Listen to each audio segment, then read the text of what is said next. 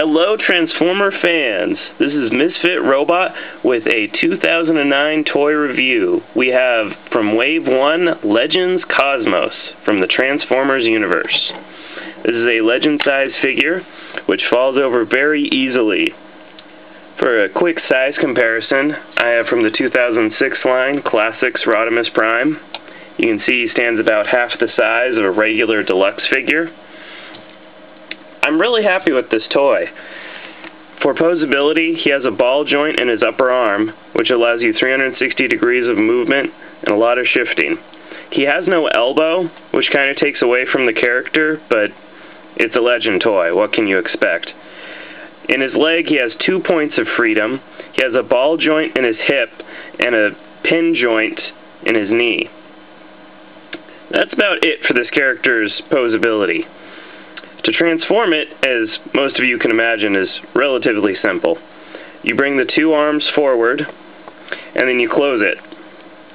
It kind of reminds me of how WALL-E would uh, show he's shy in the movie. Once you move the waist out to behind the robot, the head actually pushes in. It doesn't completely go flush, but neither did the 1980s toy. Once this is pushed in the back, you simply close the two legs, and you have your UFO mode. Yep, that took a whole 10 seconds longer than it should have. It's a round disc, about 2.5 inches in diameter. For size comparison, since most 1980s episodes had Astrotrain and Cosmos chasing each other in space, I thought I would bring him down from the Classics line. I think this is relatively close scale-wise to what they had in the TV series.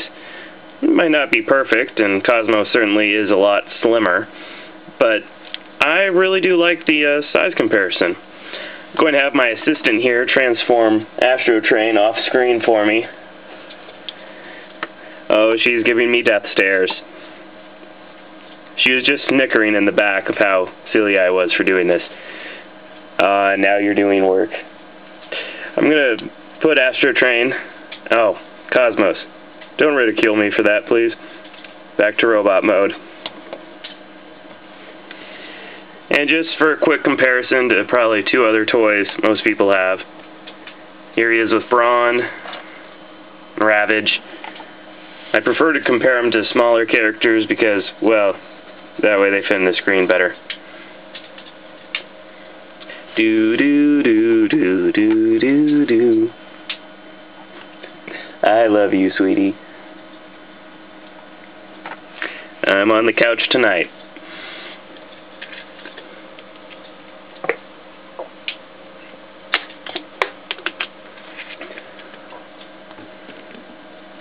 I just don't want people to think you actually have a girlfriend. oh, oh, so true and my lie is uncovered. Ah, there we go. Here's Astrotrain, freshly converted. As you can see, he stands once again just like Rodimus, twice as tall as Cosmos. Thank you very much for your time, and I hope you've enjoyed the review.